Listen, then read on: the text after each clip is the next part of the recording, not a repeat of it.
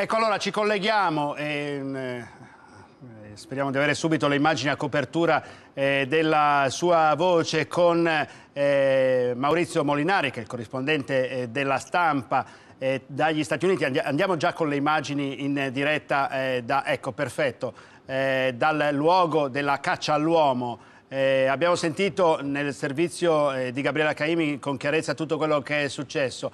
Eh, a te Maurizio un eh, commento quello che si temeva ma che si riteneva a questo punto remoto è proprio quello che si sta verificando. la matrice potrebbe essere quella islamista.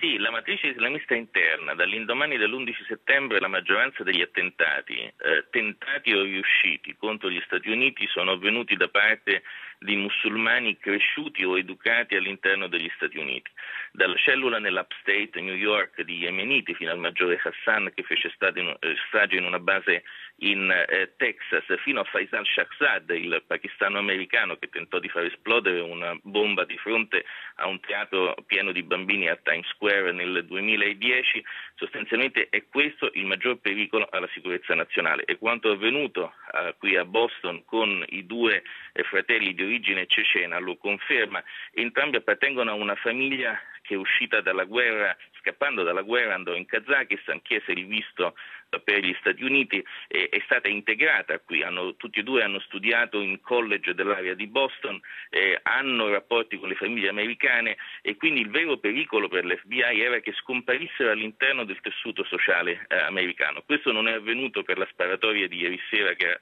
eh, portato alla svolta nella caccia all'uomo, ma il problema che rimane da un punto di vista della sicurezza per gli operatori americani è quello della radicalizzazione islamica della comunità musulmana americana. Senti Maurizio, eh, a questo punto eh, però eh, è immaginabile che la svolta eh, degli eventi porti a un'ulteriore drammatizzazione e alla allerta che ritornerà alta nelle principali città eh, d'America. Ci si era orientati a pensare a una pista interna, purtroppo ci sono stati appunto i tanti episodi che tu conosci meglio di tutti noi eh, in questi anni, eh, soprattutto eh, nelle zone dei campus universitari. Qui siamo per paradosso vicino a, delle grandi, a due delle più grandi università eh, d'America e delle più famose del mondo, ma si tratta di tutt'altro. Assolutamente, ed è, ed è, verosimile che anche il sistema di sorveglianza verrà rafforzato. Eh, noi ricordiamo che solamente alcuni mesi fa la polizia di New York venne messa sotto accusa per un sistema di ascolto di tutte le comunicazioni private degli studenti di origine musulmana nei campus del Tri-State, attorno alla grande città americana. Ed è verosimile che adesso quel metodo venga applicato anche in altre eh, zone del, del Paese. C'è però una domanda alla quale adesso gli investigatori devono rispondere, cioè questi due fratelli ceceni abbiano agito da soli oppure se sono stati in qualche maniera in contatto con un'organizzazione che si trova all'esterno degli Stati Uniti. Questo è un elemento non secondario perché ad esempio ricordiamo che alcuni degli episodi prima citati di musulmani americani vennero eterodiretti dalle cellule di, Al- di Al-Qaeda nello Yemen. Ora, il capo della, di Al-Qaeda in Yemen, che era egli stesso un cittadino americano, è stato eliminato due anni fa dai droni americani con un blitz.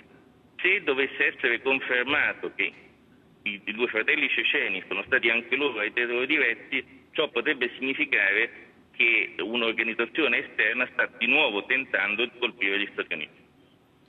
Allora grazie a Maurizio Molinari che risentiremo ovviamente questa sera o prima se ci sarà un aggiornamento. A proposito, ultima domanda, è previsto che per eh, l'incalzare degli eventi eh, ci sia un eh, nuovo eh, intervento dello stesso capo della Casa Bianca di Obama come è successo eh, nei giorni scorsi?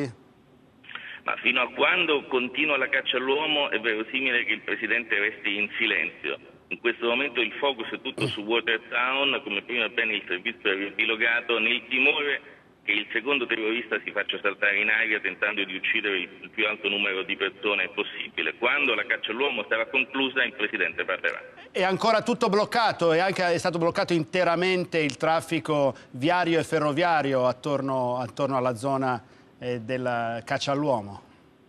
Sì, il motivo è sempre il timore di attentati suicidi da parte del terrorista. Questo è, è si vuole creare il minor numero di persone eh, contemporaneamente presenti in uno stesso spazio, no? E questa è la sostanza. Si vuole evitare che trovi un mucchio su cui sparare, su cui suicidarsi. Assolutamente sì, per questo sono stati bloccati i trasporti pubblici. È doveroso ricordare che erano ceceni i terroristi della più orrenda delle stragi eh, che noi ricordiamo a livello internazionale, quella di Beslan, eh, ovviamente e non solo quella, altre di cui si è avuto minore notizia che sono avvenute, ad esempio quella del teatro eh, di Mosca, quindi eh, i timori sono fondati riguardo alle attitudini purtroppo dei kamikaze ceceni. Assolutamente, e questo spiega anche co come sono, è stato trasformato dalla polizia nell'arco di poche ore l'uso dei pullman se i pullman prima trasportavano, fino a ieri sera trasportavano normali cittadini da una stazione all'altra, adesso invece sono stati tutti sequestrati e vengono usati per trasportare centinaia di agenti attorno alla zona di Watertown. Quello che sta avvenendo a Watertown è impressionante, stiamo parlando di un'area di 20 isolati circondata da centinaia di agenti, macchine e blindati delle forze speciali.